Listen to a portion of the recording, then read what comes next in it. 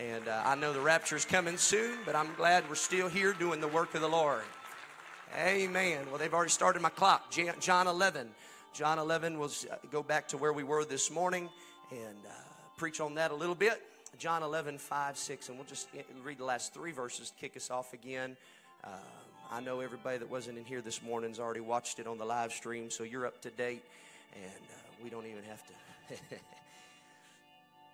now, Jesus loved Martha and her sister and Lazarus, and when he had heard, therefore, that he was sick, he abode two days still in the same place where he was. And after that, saith to his disciples, Let us go into Judea again. Amen. Delayed but not denied.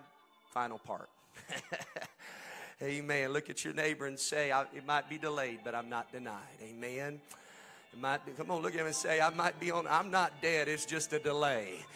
Hallelujah. Lord, I love you. Thank you for everything you are, everything you've done, and everything you're about to do in the house. How blessed we are to be known as the people of God. Thank you, Lord, that we're a light for a dark world. I pray that you'd speak to me, Lord, and as you're speaking to me and those listening in, that they would be blessed for by what you're preaching to me tonight.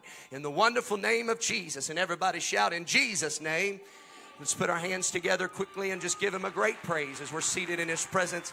Thank you for responding to the praise of God in this place. Amen.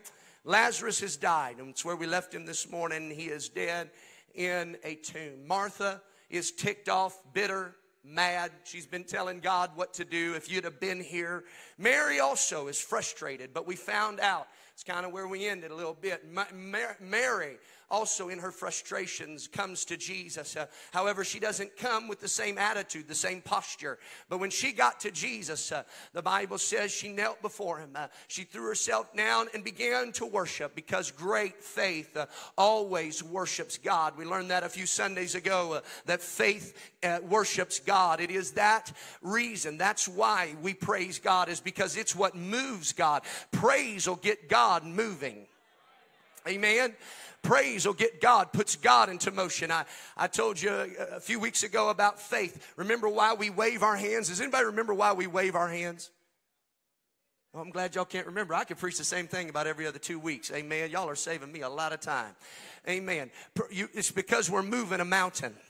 Amen. Because the faith as a grain of mustard seed. Remember, we said faith is not the size of a grain of mustard seed, but faith is as. It's the potential in that seed. And Brother Caleb was talking to me today at lunch, and uh, he said, You know, I went home, I was looking at that. He said, Do you realize that that seed, a mustard seed, which is the least of all seed, they put it down half an inch down into the ground?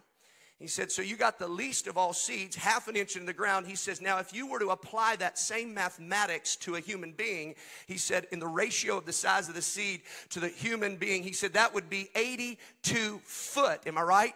82 feet of dirt stacked on top of your head. How, how tall is this ceiling in here? 25? All right, Sister Mandy says it's 25. We'll measure it after church, see how good she is. 25. So you got to go three times and add a little bit on top. That's how much dirt is sitting on your head. I said, I wonder how much pressure that is. He said it'd be about 4.5 tons. Dude's pretty smart. So you've got 4.5 tons, we'll round up, five tons of pressure on you. That's how you feel when you come in the house of the Lord sometimes, amen? Pressured down with an 82 foot mountain. Uh, but if you have faith uh, and you begin to move, that's what happens. Uh, you begin to move and, and you begin to, and something begins to happen in the atmosphere. That's why when we come in, we don't sit still. Faith always worships God. Faith, great faith isn't, it ain't based on the fact that I got 82 feet of dirt and four and a half tons of pressure. I've come into the house of the Lord and there's only one way to move it, and that is by lifting up my hands and giving Him praise. Amen? Faith, let me tell you, praise and worship moves God. When He created the earth, He's up in heaven let's do this. Pull that chair out there. I'm going to show you what was going on in heaven. Sit down. You, you be God. No, I'm going to be God tonight. Amen. And, and God, the Bible says, surrounded by angels. I need some angels. Come on up here. If you feel like you're an angel, I know you are. Come on. Come on, the way y'all post on Facebook, all y'all think about is Jesus all the time. Uh, come on, there it is. There. Brother Jared's the only angel. There was a whole lot more than Brother Jared. I need some angels. Come on, come on, young people. Come on, come on, come on, come on, come on. Yeah, yeah, yeah, yeah. Come on, come on, come on, come on. Fast, fast, fast, fast, fast, fast, fast, fast, fast. We're gonna be here all night. They're already complaining about me preaching too long. Surround me, just surround me. Walk around, and there. You know what the angels are doing up there in heaven? What are they doing? They're worshiping God, right? They're saying things like, Holy, holy, holy. They're not saying it like that. They're saying, Holy, holy, holy. They're worshiping God. They're worshiping God. Holy, holy. And as they, and God is sitting up there because this is what He likes. I am holy. I am holy. I am holy. And it was in this atmosphere of worship uh, that God stood up uh, and said, Let there be light.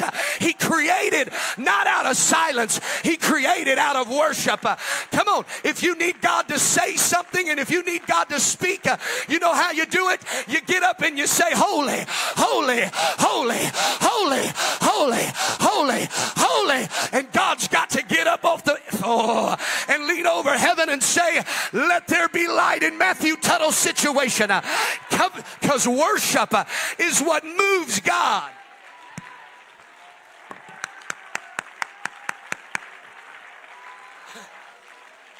That's why moving in praise is not Pentecostal. It's script. The angels aren't Pentecostals. Come on, somebody. It's scriptural. Motion in the house of God is not linked to the genre of Christianity. I say that all the time because I'm sick of it. Well, y'all just do that because you're Pentecostal. Absolutely not. Absolutely not. What we do because we're Pentecostal is eat peanut brittle.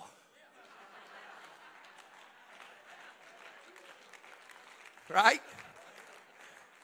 And go out to eat after every service. That's what we do because we're Pentecostal. That ain't linked in the Bible. You don't have to eat peanut brittle, go to heaven, but Lord, it's good.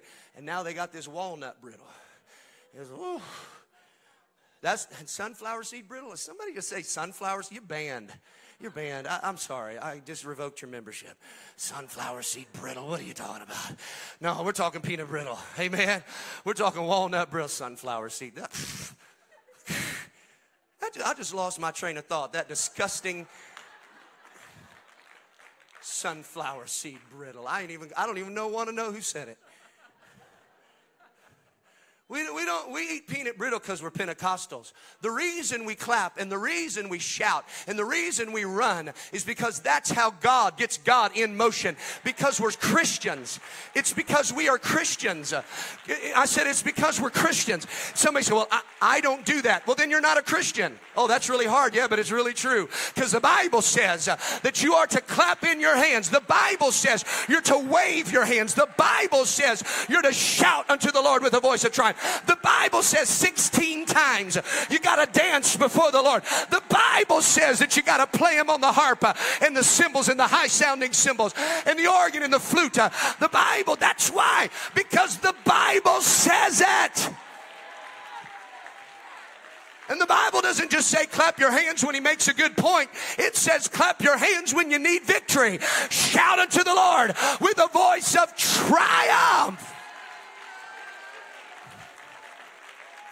So she's making noise. Y'all can get off. She's making noise. She's worshiping God.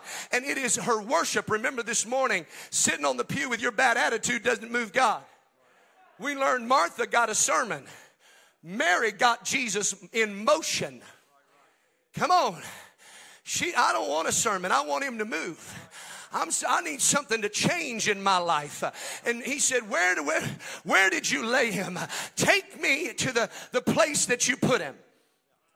And then we found Mary, Martha. There she is. And he, he shows up uh, and, and, he says, Take away the stone, move, move the stone. She said, I can't move the stone because by this time he's already stinking. Right before the greatest miracles in our lives, he's going to ask you to do something that stinks. Whew, I touched it this morning, but I could spend all night there. Uh, I said, He's going to ask you to do something that stinks. That means it's something you don't like. Your senses don't like it. Woo! Hallelujah. I don't like it when he tries to get me to praise God. Go ahead and keep your brother in a tomb.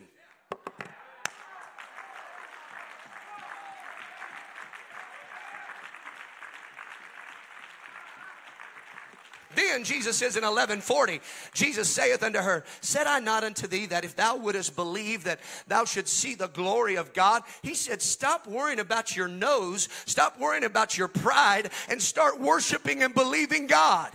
And then in 41, he says they took away the stone from the place where the dead was laid. They took away. I talked to you about, about this before, but these young people didn't hear it.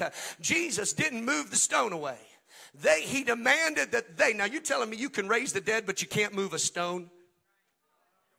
You know what I mean? Well, if it's God's will for me to shout, he'll reach down and jerk me by the, no, he won't.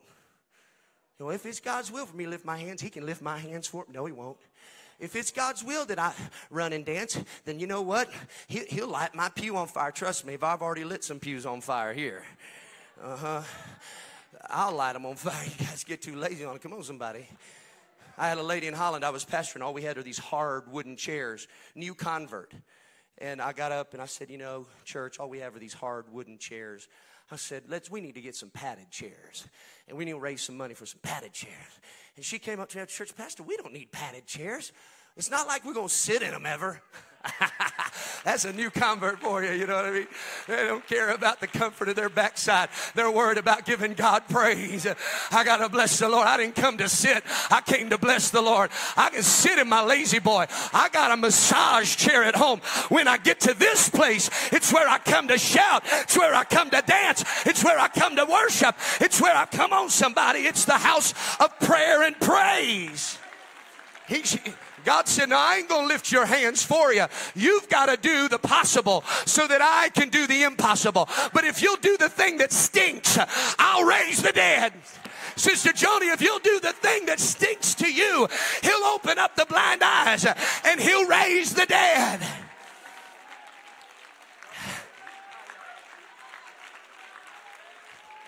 Woo! Hallelujah. Hmm. When it stinks to me, it smells good to God. You remember that? I said, when it sacrifice stinks, you're burning up animals on, on an altar. Stinks to man. But God said, it smells good to me. When that means something good's about to happen, when you're starting to get into a messy situation. Amen. So they took away the stone from that place. Amen. Where the dead was laid, and Jesus lifted up his eyes and said, Father, I thank thee that thou hast heard me. Before he went on, he said, I'm going to pray. I'm going to make sure that everybody knows that God is going to get the glory. He said, I want them to know that God gets the glory. And I knew, verse 42, and I knew that thou hearest me always. But because of the people which stand by, I said, He said, I know you're going to do what I said. I know it's going to happen. He said, But because of the people that are watching, that they may believe that thou hast sent me. You see what I'm saying? Pastor, why are you always saying we need to pray loud? So that when we walk out of this building, the people that are watching realize that wasn't the praise team that got the glory. It wasn't Pastor Tuttle that got the glory. You know who got the glory was this prayer meeting that took place uh, before you started. Uh, oh, that's why you lift up your voice and say, Father, you, you are going to do something great here tonight. Father, you heal the blind. That way, when the blind get healed, the visitors say, well, that wasn't the preacher. They were praying for that to happen. Uh, that wasn't the praise. See, that's why some people people can't pray to God because they need the glory for themselves. But we're, uh, I'm going to lift my voice and say, deliver them. God, set them free. Hey, by the way, the visitors listening to me ask you for a healing. Come on, they're watching what you. Come on. I've told God that before. I say, God, uh, if now if I do a bad job, that's me. If I don't preach good and everybody runs away, I'll take the blame. I said, but whew, when you move the mountains and, and when you raise the dead and when you set, I said, and by the way, I'm going to pray so loud a visitor can hear me. oh, because every visitor knows I can't move mountains. Pressure's on you, God. It's on you now. It's on you now. Come on, some of you afraid to put the pressure on God. I'm not. I say, Lord, move the mountain. Raise this man from the dead. We're not going to let hell get the glory or flesh, that no flesh may glory. We've got to give God the praise. And when he had thus spoken, I think it's the next verse, yeah. And when he had thus spoken, he stuck his head into the tomb and whispered, When he, when he had thus spoken, after he got done praying in prayer meeting, he, he crossed himself.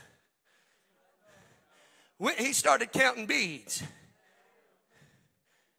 He just kind of bobbed his head and sat on the pew and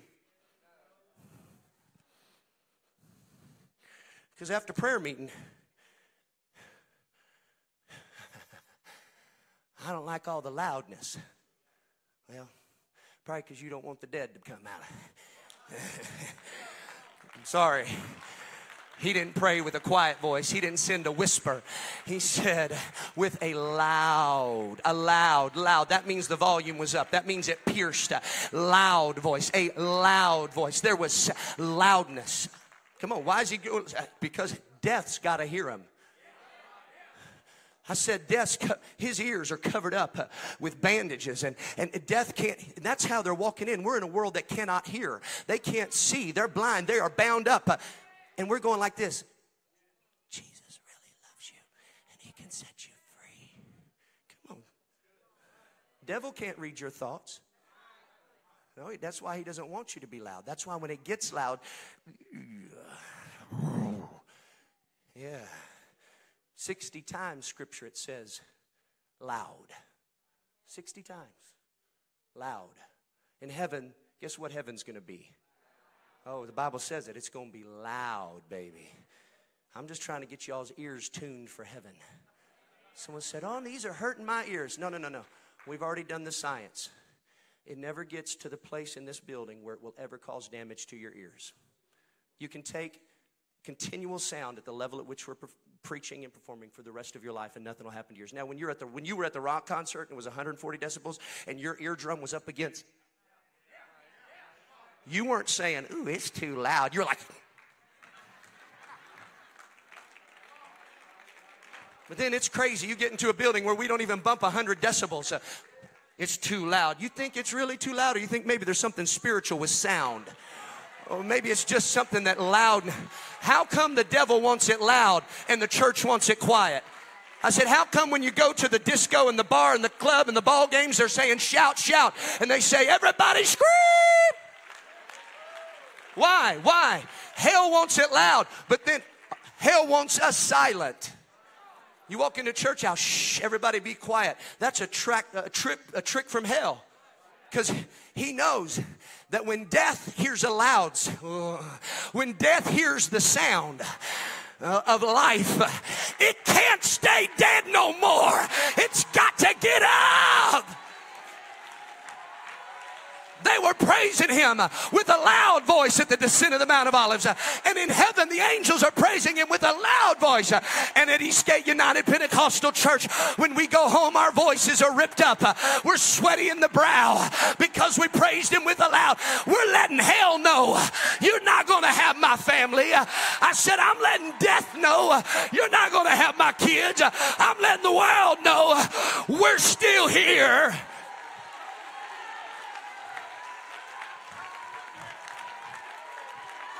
Woo! Well, well, the Bible says, the Bible says silent. Yep, the word silent is also in the Bible. Nine times. And here's what it says 1 Samuel 2 and 9. He will keep the feet of his saints, and the wicked shall be silent.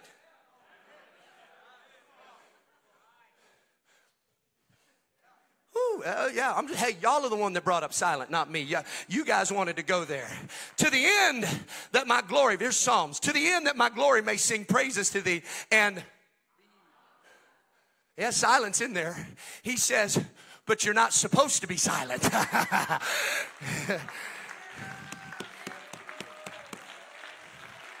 well, I just want to be quiet. Here, okay, when, Pastor, when can we just be quiet? Here's when you can be quiet Psalms 31 17. Let me not be ashamed, O Lord, for I have called upon thee. Let the wicked be ashamed and let them be. That's when you can be silent, when you're in the grave. But, I, but as long as there's breath in your lungs, there ought to be a sound of victory coming out of your mouth. He said you're to be loud and not to be silent. Lord, I'm lifting my voice. Young people, are, we're called to be a loud people, a noisy generation.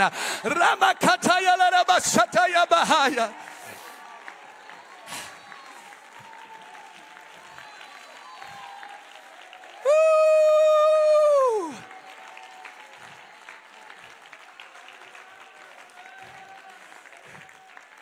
Uh, loud lets the, the enemy know we're here. Man, Brother Tingley preached good. Gideon, 300 people, up against probably 300,000 people. And what he want them to bring? A trumpet and a light bulb. he said, Hey, we're here. We might be in lesser number, but we're not going to be lesser volume. hey, hell, Hello, we're right here. We're not sitting in a corner. And if you can't hear me, turn on the light. I'm right here. I'm right here. Put the light. He said you are to sound forth the praise. And then he said you're to show forth the praise. Praise is visual, praise is audible. There's sound and a show. And the show ain't for you. Don't be mistaken. We're not doing this for you. We're showing off for him.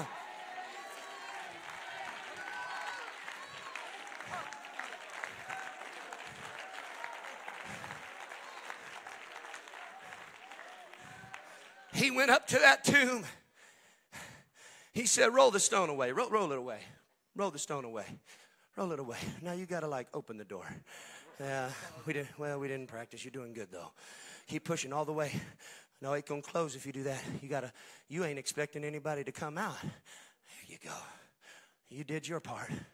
That wasn't that hard, was it? Why on earth you complaining about it then all the time? Why is it so hard for you to get to do the possible? That wasn't that hard, was it? Martha, you made such a big deal about something that wasn't that hard. You know what you're going to do the minute you do run the aisles and get back to your seat? You're going to be going, man, that felt good. I ain't never seen somebody shout, dance, and praise God and get done saying, man, that was disappointing. Never. I've been doing this my whole life, 36 years. Come on, somebody. I haven't. Now, I've, I've met a lot of drug addicts and drunks, and they drink themselves, and when they're done throwing up in a God, I don't know why I do that. I never met a Pentecostal like that. I've never met a Christian that was a shouter that woke up the next morning going, they woke up with a smile on their face. They might have been a little sore. I've been sore the next day, but I was smiling. I had joy that I never had before. I had, oh, I know all my, all my coworkers are holding their head because they got a headache, but I'm holding my heart because the King of Kings living in it. Ah, and he went up. Hey, Lazarus, come forth. Ah. Lazarus, come forth.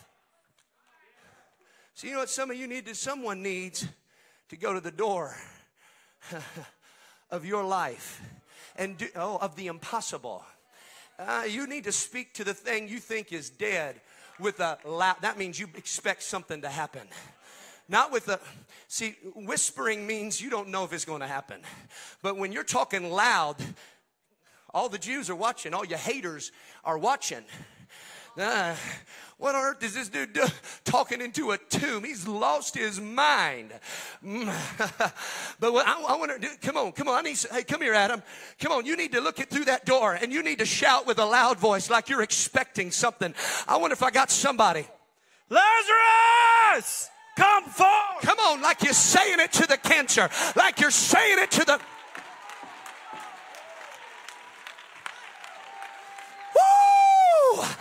Lazarus! You ought to name your son and say, Billy, come forth. Come on, somebody. Joy, come forth. Hope. Come.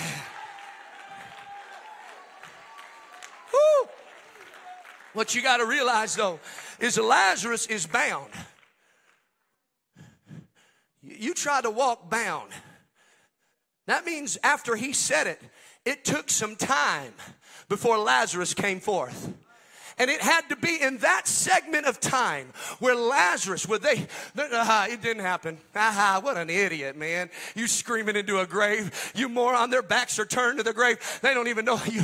What are you thinking? There's people making fun of you because of what you've been proclaiming with a loud voice. Uh, but the thing you've been proclaiming uh, is dead. And it takes the dead a little longer to get there. But I promise you, it's on its way.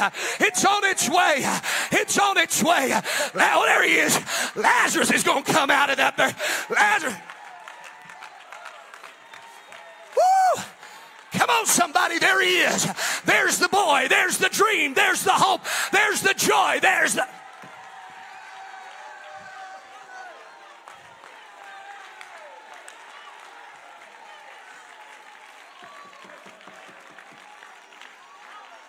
Hold on.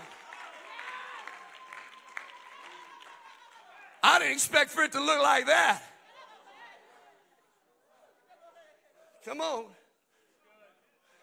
When God does the supernatural, it's probably going to show up the way you don't expect it to show up.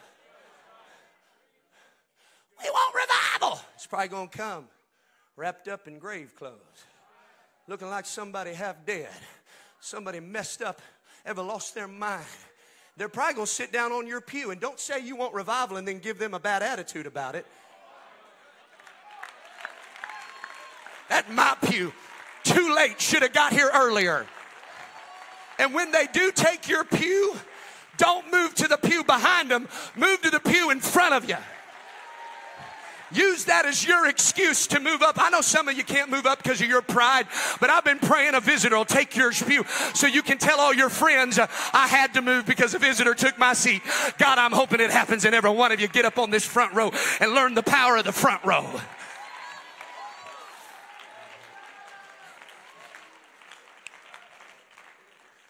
They're going to come in and they're going to look bad. They're going to look dirty. They, they ain't going to dress like. He, well, hold on, hold on, hold on. Jesus, now, you could have had him in a three piece suit. I was expecting a Hickey Freeman Super 150s with the Gucci shoes and an Armani tie. Come on, Jesus, what's this? I mean, we've been praying for God to send revival, and you're sending us drug addicts. And come on, somebody. And they look different and smell funny, and I just don't like the way they did. Did. Well, hey, hook it, get on out of here. That's the kind of people God sends when you talk talking in the graves. That's how dreams look when you start to, well, I didn't like the way he sent it. There's people messed up because you complaining about how God's trying to bless you. When he said, he said, now, see, God, could, could God have rolled away the stone? Absolutely. But he's not going to do the possible. He says, now it's your responsibility to unwrap him. The duty falls to you to clean him up. You got to teach him holiness. You got to teach him righteousness. You got to teach him how to worship. Uh, because, see, they've been bound up. They don't know how to shout. They don't know. He can't run. He can't shout. He can't lift his hands anymore. He's been dead. Because a dead person, you know how you can tell dead people in church? They sit like this. Dead in trespasses and sin. Lazarus, come forth. Uh, when they come out, uh, we start taking them by the hand and we teach them how to dance and teach them how to shout and teach them how to live. God said, I'm going to raise them. He said, but you're going to play a part. He says, You need to have your hands.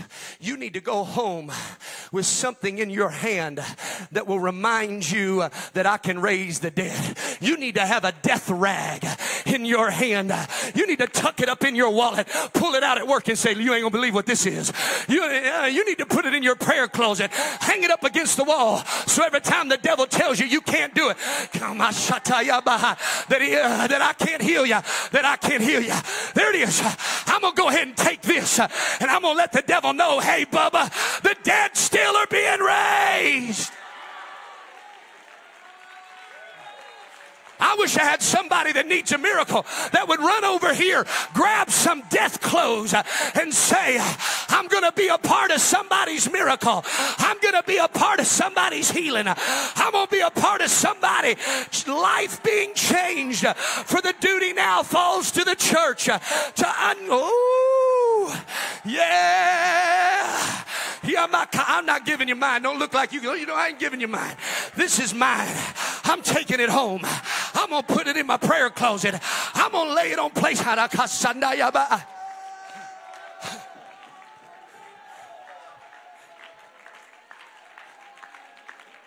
What's that you got in your hand there, Martha? Oh, you ain't gonna believe it. You, what's that you got wrapped around your neck, uh, uh, Mary? Oh, you ain't gonna believe it. You ain't gonna believe it. This used to be in a grave. Uh, somebody ought to wave a, a cloth and say, I got it off a dead man. I got it off a dead man.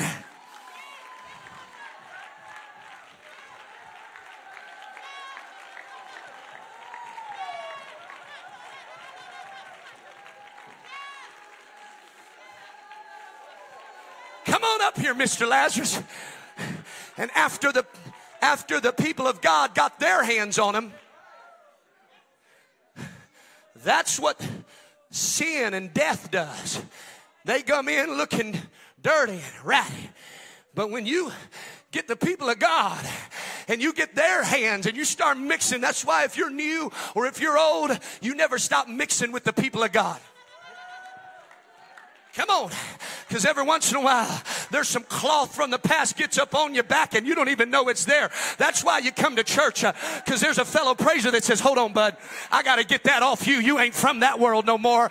You ain't like, that's why you got a preacher that says, get up out of the aisle, Lazarus. Get in that altar and start worshiping God. Uh, you once were dead, but you're alive now. Ooh, I, I wonder if I could just get somebody to praise God with somebody. You just ought to. Oh, I wish I had a praiser that would rub off on a non praiser. I wonder if there's a prayer warrior that'll rub off on a non prayer warrior. Yeah. Take them off. Take, hey, church, take off the grave clothes. You can come dead, but you're going to leave alive. You're going to be looking better than you did when you walked in. Hallelujah.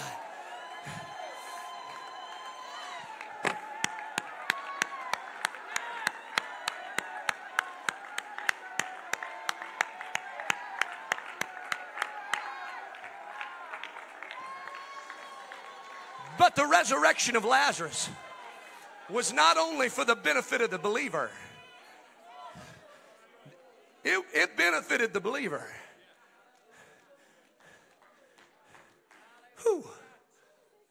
You, you think Mary's worried now about anything? Now she's rejoicing. Ooh. See, Bethany was the headquarters of the Sadducees. And the Sadducees believed that a man was not dead until he had been dead four days. They believed a man's body, his spirit departed on the fourth day. So if Jesus had raised him on the second day, the Sadducees would have said, he was never dead. If he'd have showed up when Mary wanted him to show up and Martha wanted to, sh- if he'd have listened to your plans, he said, I got to do this so that I get glory. If he if he did it the way you wanted it done, yeah, you would feel better, but he wouldn't get glory. And the, he said, so I, I need some people. I need I need a family. I need a family that I can trust with a delay. I need a family that I can trust with a holding pattern. I need somebody that I can trust that I know when they're going through it, they're not going to curse me, they're going to bless me. I need somebody that I can trust with a, a temporary season of winter so that I can get glory out of it. Because I'm about to break a stronghold of false doctrine. But I need a church. I say, God, Eastgate United Pentecostal Church, put us in a holding pattern. And when they're oh, when we're baptizing them by the thousands, we'll be giving you praise. And when we're not baptizing them, we'll give you praise. And when we got goosebumps, we'll roll on the floor. And when we ain't got no bumps, we'll roll on the floor because we love you. We love you. Woo! There's a revival that's coming to people he can trust with a delay. It might be delayed, but it's going to happen. And it's going to be so big that there ain't going to be an excuse for hell to throw your way, to talk you out of oh, that wasn't really God, baby. It was. He was dead four days. Oh. Look at your neighbor say, I'm not dead, I'm just on a delay right now. Some of you been, come on, devil's tried to tell you your praise is dead. It ain't dead. You just been going through some stuff. It's been through a little delay. But in the name of Jesus, I'm coming with a loud voice. And I say, praise, come up out of the grave. Praise, come up on. Maybe all you got now is a little patty cake. But we'll unwrap you. We'll unwrap you and you'll shout again. You'll leap again. You'll run again.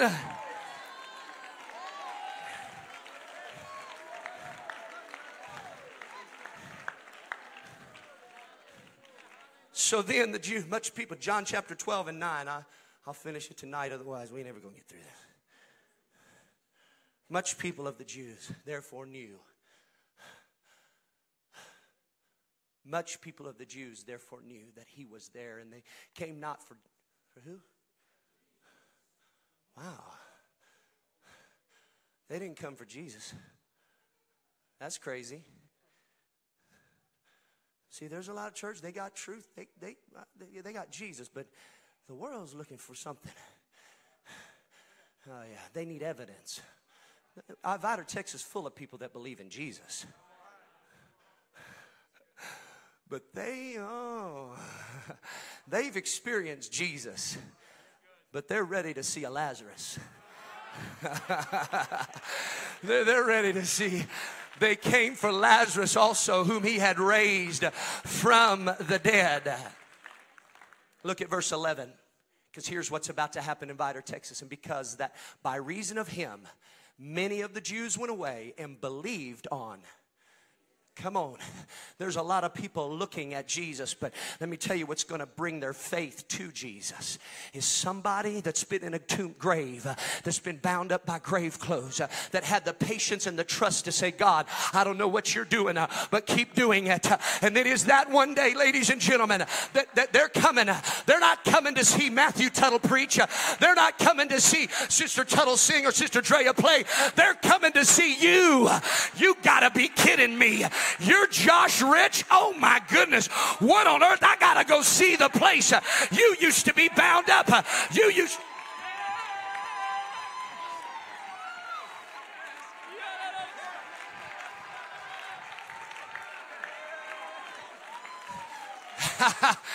you know what? I want the reputation of Eastgate.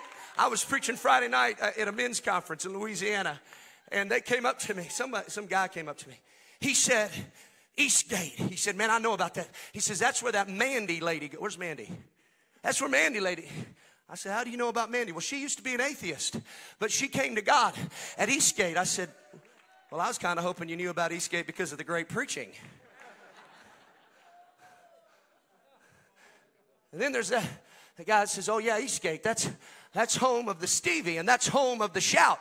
And Eastgate, oh yeah, that's where that, that guy went that was addicted to drugs and got set free. And that, hey, I don't want to be known by the quality of our singing. And I don't have to be known by the revelatory preaching that I preach. But let the witness of Eastgate, let it be this.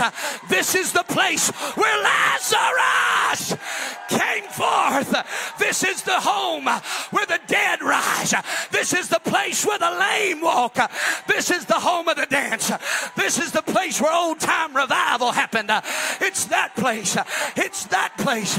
It's that church you go if you got a dead boy. It's that church you go if you got a lame daughter. It's those people. They know how to get people out of the grave. They know how to get people. Come on, somebody. Do I have anybody that wants to get them up out of the grave?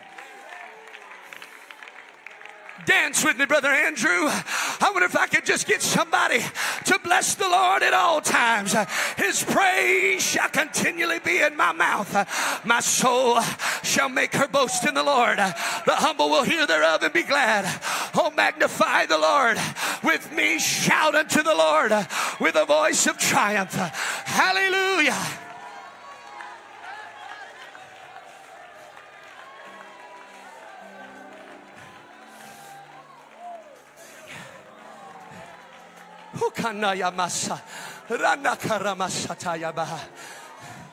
I'm done. Here's what we're going to do. Whew.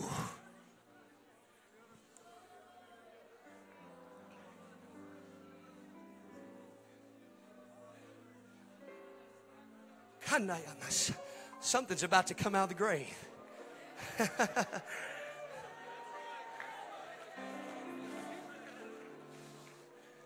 Here's what you're about to do. I need you to get something in your mind that's been in the grave long enough where you know it's dead. You're going to pray. We're going to pray, and God's going to give you something. Something you're missing a praise, a dance, a song, a person. Come on. Something you lost. You think it's gone. You've already just said, you know what, that's how it's going to be. It could be your health, it could be your joy, it could be your dance, it could be your shout, it could be a ministry. I don't know what you need to come to life tonight, but it's going to come to life. But you, I'm not talking about something that you just kind of lost last week. I'm talking about something that's been there a while.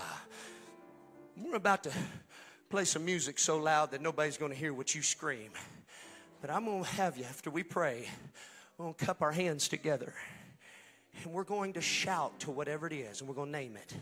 And you're going to say, Come forth. And it's going to come forth tonight. I believe some ministries are going to be re- resurrected tonight.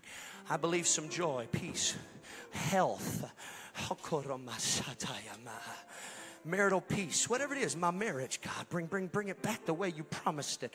Ah, it's going to come. It's going to come. You've been in a holding pattern, flying, circling over the promise long enough. Now it's time for it to come to life. Uh, and the only thing it's waiting on is to hear your voice shout its name uh, under the power. But first, we're going to pray and we're going to ask God and we're going to tell Him, God, when you bring it out, I'm going to give you the glory. Uh, hands are lifted across the building uh, right now. God, in the name of Jesus Christ, uh, we come to you and I thank you. Oh God, I thank you that what you're about to do in this place, uh, Father, I'm going to cry uh, and we're going to call forth revival uh, in what they say is a burnt field, in a place where everybody knows Pentecost and no one will come. Father, when they come, we will give you the glory. In the field they say has been over harvested, when they fill the tabernacle with praise, wall to wall worship, Father, it is then that you will get the glory. It will not be by my might. It won't be because of the good preaching. It won't be because of great singing. It'll be because you showed up in the middle of our mess. It'll be because you appeared when there was nothing that seemed possible. And so it is when we shout, Father, we're expecting Lazarus to come out in the name of Jesus. Here's what I need some people to join me in shouting. Some of you going to shout your stuff. If you don't know what to shout, you're going to shout revival, come forth. Look at your neighbor and say, if you don't know what you're going to shout, we're going to shout revival, come forth. Revival, come forth. Harvest, come forth. We're about to shout it on the count of three. Now, some of you are going to name some kids, and some of you are going to name some family members. Some of you are going to name your husband, and some of you are going to name your wife. And after you begin to shout it, after you've shouted it, I want you to begin to give God praise uh, all across this building. And we're going to worship God on this Sunday night uh, like only Eastgate people know how to do it. Only Christians know how to do it with a loud voice. Now, this isn't going to be something passive. Uh, all fear is gone. Lay your hand on your heart right now. Say, I rebuke you, spirit of fear fear, be gone. Spirit of insecurity, be gone boldness, baptize me with boldness uh, and a confidence uh, to declare that uh, which has been promised to me, to my city, to my community, to my family. On the count of three, you're going to shout, Oh, revival come forth. Are you ready? Are you ready? Come on, we need some music. I don't, they're going to be embarrassed, some of them, to shout what they need to shout. You're going to be covered up with psallo, that's playing of melodies on, on stringed instruments. It's, it's praise. On the count of three, one, hell, we're coming for you. We're coming for every child that's backslidden. We're coming for every sinner. Two, we're coming for every drug addict. We're coming for every prostitute. We're coming for every broken home and heart. We're coming up, and you're going to come out. One, two, three. Revival! Come forth!